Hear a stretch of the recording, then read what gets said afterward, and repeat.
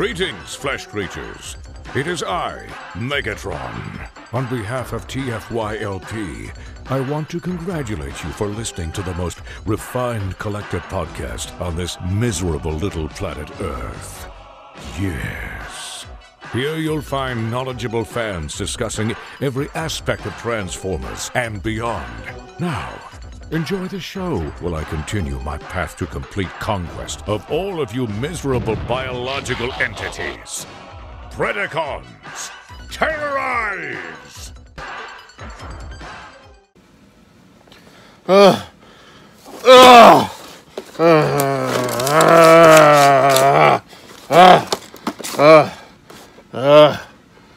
Okay.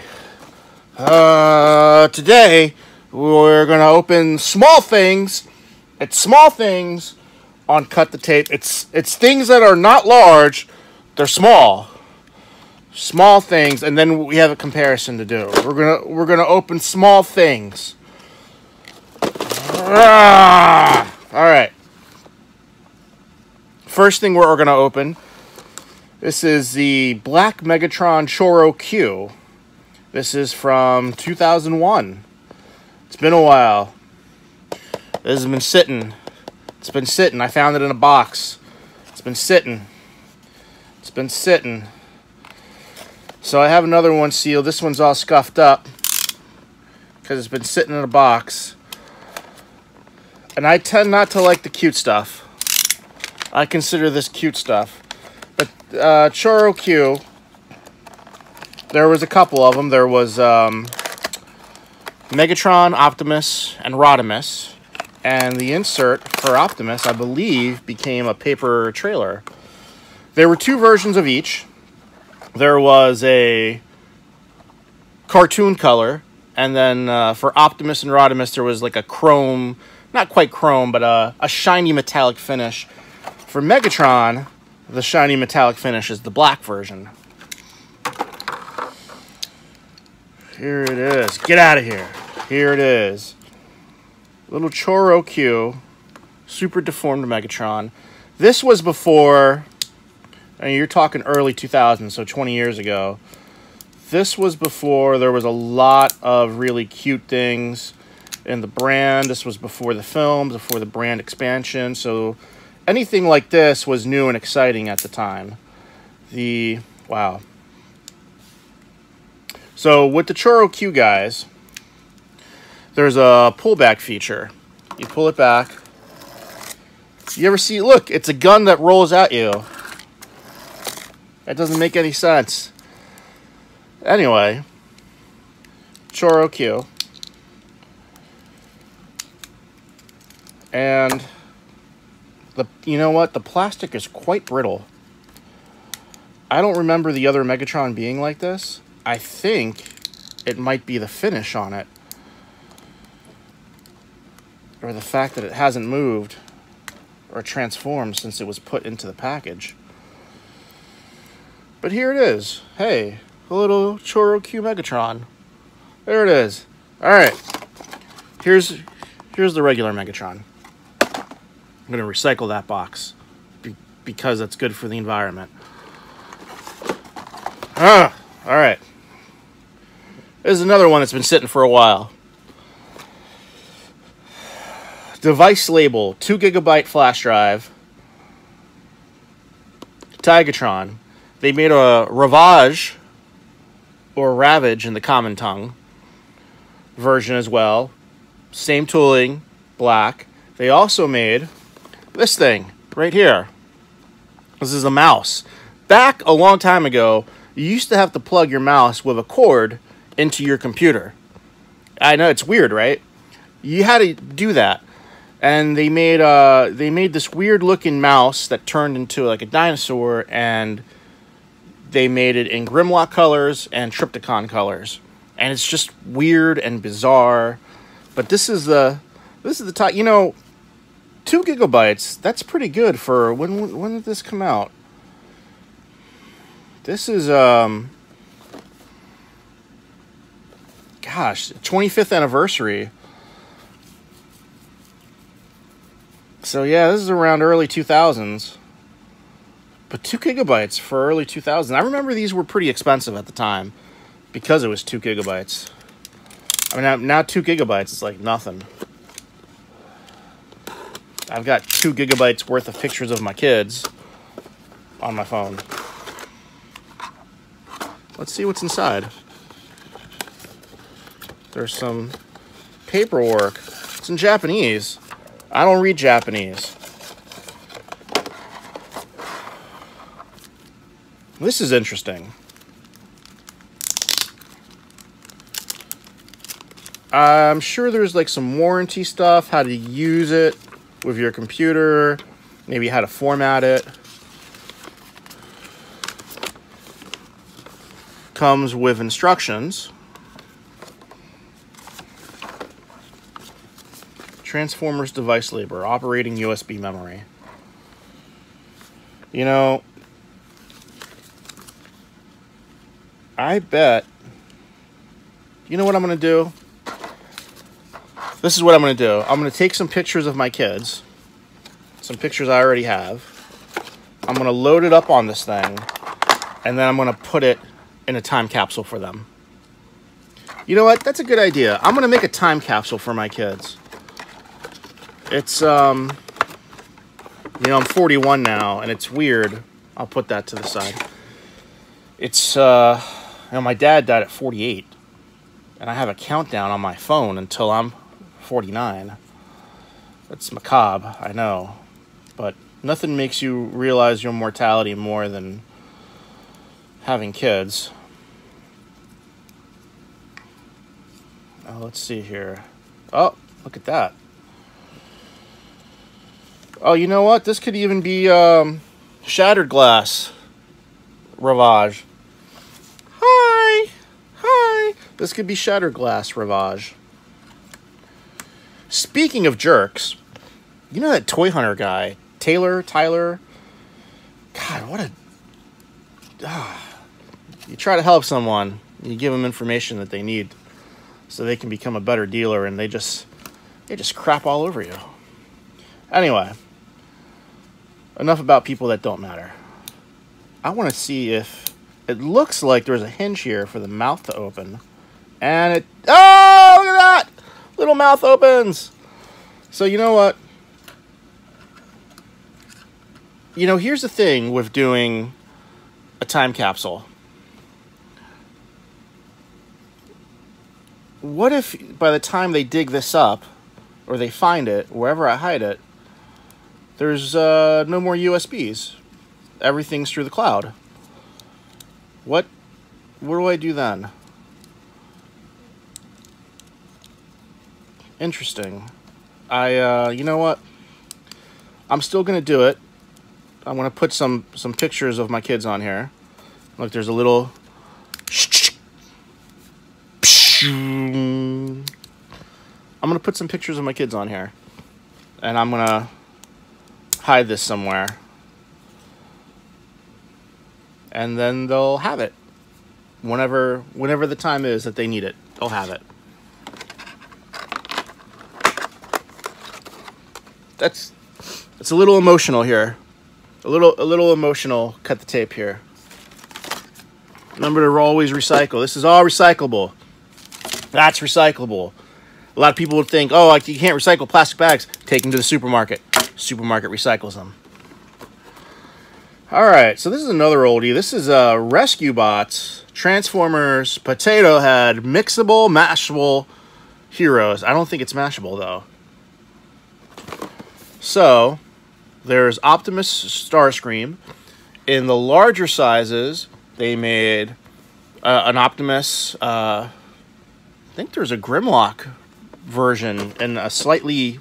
In the standard potato head size, there's an Optimus. In the larger one, there is a Grimlock, uh, which did not come on a hang tag, but it looks like it, it should. So we have Optimus and we have Starscream. And, um, you know, everybody opens Optimus. Let's give Starscream some love today. So we can mix the two to make something new. You can be as Starscream, as Optimus Prime, or as Starscream plus Optimus Prime equals Screamimus Star Prime. When is this? I just want to say when uh, when this is 2013. Ooh. I got a whole bunch of stuff that's just waiting for me to open. 2000 everything today is vintage. I mean, sort of. I mean, depending on what you consider vintage, but you know, another thing you can do with these um, is you can use them as a center display. So if you have, say, a display shelf and you have a bunch of figures you're going to put in front and you want some figures in the back, you can stack, you can put this and stack some figures in the back so it elevates them. I tend to use uh, more sturdy items, um, but hey, this is, I mean, it's free, it's here.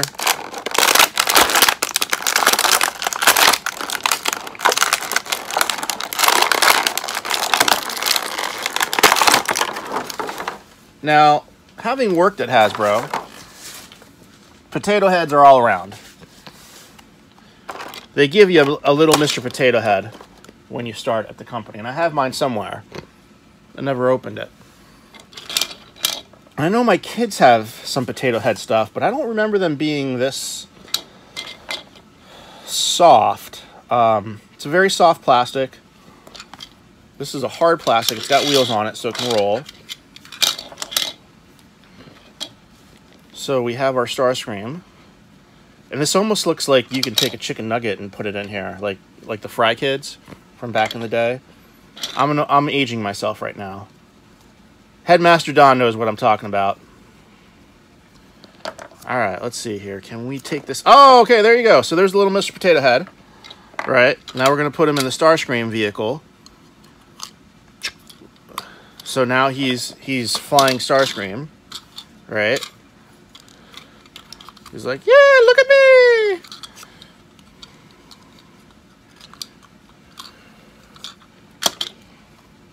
To put them back. Oh, look, so that comes off too. All right, so obviously you can't have all the pieces together at the same time. And there's no place to hide the other pieces. But this is a this is a cool little thing that Hasbro can do where they don't have to pay for any license stuff. Uh, it almost looks like it's 5 millimeter. It's slightly larger than 5 millimeter. Yeah, it's a little, it's like 6 millimeter.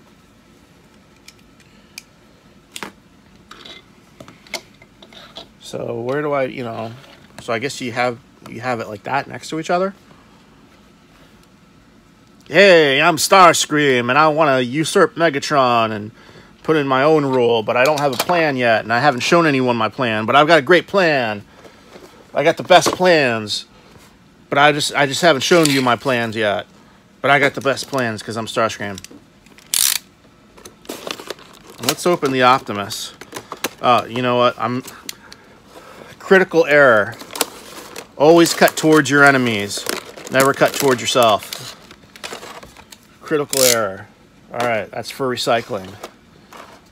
That's for recycling. Yeah, take it all out. Ah! All right, there's another little stand, you know. I think I'll use that just because I mentioned it. Hey, if you if you want this, if you want me to send this to you, email me at cutthetape at tftalk.net and I will mail this to you. Um, shipping and handling charges may apply. But I, I'll mail that to you if you want it. All right, so I mean, they're both what we would call super deformed, but they're very clearly uh, based off the G1 aesthetic, and it's very clear that the silhouettes match the characters. I mean, Starscream with the color in the wings, Optimus has that unique head. No matter what color you make them, it's that head that just sticks out. Let's see. It's the same potato head character. And now he's a truck. Hey, look at me. I'm a truck. Hey, I'm a truck over here. I'm Optimus Prime. I'm Spudimus Prime. How come how come they weren't called Spudamus or Mashimus Prime? Right? And notice there's no blasters or axe. That's okay. This is aimed at a younger audience. And you know what? It's aimed for a younger audience, but that's cool. I like it. I wish there was a way to click these together. All right. So it's a, this is the follow up. Get out of here. This is the follow up to last week. Last week I opened up the Evergreen Transformers, right? So here's the large. I didn't open this one on on the show. Here's the large Bumblebee.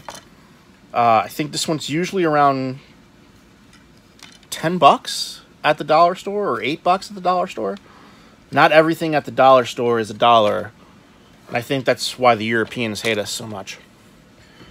But I wanted to compare it to this. This is the Evergreen Bumblebee that is at Walgreens. I think these ones are 12, maybe even 16 bucks. So as I say, if if you care about keeping the box, in this case I don't because I have another one sealed. Take your blade, stick it in, open it. That way you can avoid this. When we were kids, we would do this and it would create a, a little crease right there, right?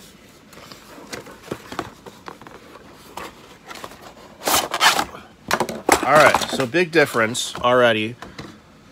Um, this is more generic um, brand, not not brand specific, not like movie specific, Prime, uh, RID. This is just like this is a generic interpretation of Bumblebee. This too is a generic interpretation, but based based off the film. It's not part of the film. All film toys have the film uh, logos, which are slightly different. Slightly different. For the Autobot that's right up here.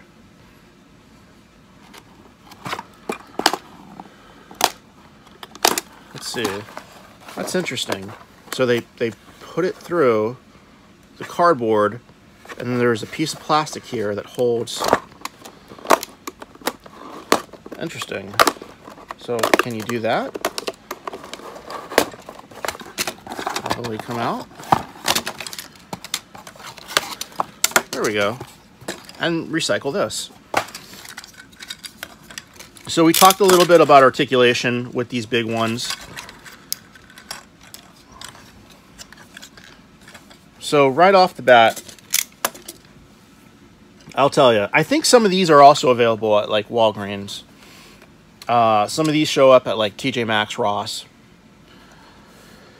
This, this feels like a cheaper plastic. This feels like okay. This is for a much. I don't want to say cheaper. This is for a reduced price point, right? At your dollar stores. This is for Walgreens. You're coming in to get a prescription or just running in to get some milk or something, and the kid says, "Hey, I want a toy." Uh, so this has, you know, for all the articulation this has, it's got the hips, arms, shoulders, the head moves.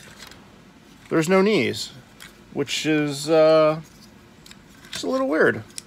I would have expected that there would have been some knee articulation on this guy. So as we said earlier, this one is heavily based on the film. It's a simple transformation. The plastic is much sturdier, uh, although it's that plastic that if you drop this, it does feel like it will shatter and leave you with like a jagged edge. And look, it matches. This is my bumblebee cutter. Bumble cutter. Bumble cutter. That's what we're calling that. That cheaper plastic always seems to have that little sparkly effect on it. It's a little hard to see on film. So this one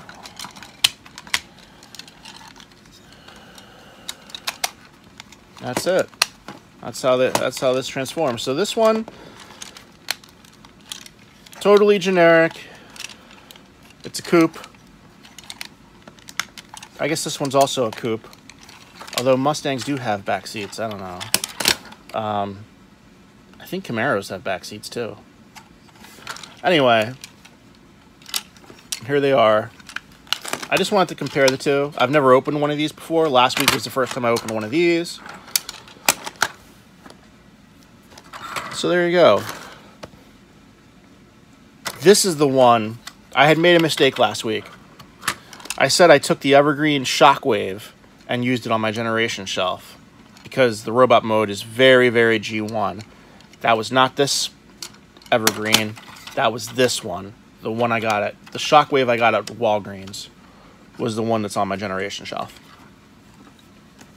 But now we have Galaxy Man, so it's like, uh, the Evergreen one still has a better robot mode. It's more animation accurate. All right. There we go. Um, a lot of people don't know this, but these actually work together. You can put the Megatron here, and then in the fiction, you put the Optimus here on the hood, and um, they recreate. Uh, this is part of the Fast and Furious crossover. See, go. See? But he's okay no matter what happens in those movies. Dom Toretto is always okay. It's crazy. All right, that's cut the tape. Hey, wash your hands, wear a mask, be kind to each other, help people when you can, and just try to bit, live the best life you can. Be kind to yourself as well. All right. Thank you for watching Cut the Tape. If, if you want this again, email me at, at cutthetape at tftalk.net. I'll, I'll send this to you. All right. I'll send this to you. All right. Let me know. And um, next time I'll, I'll let you know who got this. All right. Peace.